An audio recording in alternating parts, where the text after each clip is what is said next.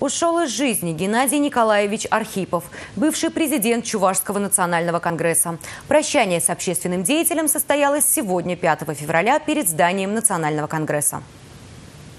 Геннадий Архипов родился в деревне Нижние Яуши Ядринского района в 1956 году. Был руководителем комитета Госсовета Чувашии по культуре, образованию и печати в 90-х годах. Благодаря его усилиям в муниципальных школах появились уроки чувашского языка. Он старался укреплять связи между землячествами, помогал Центрам национальной культуры в разных регионах России сохранять народные традиции и обычаи, развивать чувашское книгоиздание. Геннадий Николаевич – заслуженный работник культуры Чувашской Республики. Он награжден золотой медалью Ассамблеи народов Российской Федерации. Руководил Национальным конгрессом более 15 лет.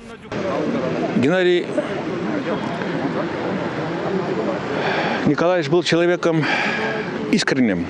Вот его черта была. И он очень тяжело, глубоко, лично переживал все неудачи нашего национального движения – с одной стороны, с другой стороны, умело радоваться. Есть какие-либо достижения у нас появлялись в области культуры, литературы, искусства, науки. При нем очень много выпускалось книг. Он э, много писал от имени Конгресса о несправедливости. Э, он боролся за чистоту э, чувашского языка. Он э, поднимал чувашскую культуру. А, он э, делал все, чтобы наши традиции, обычаи жили в народе.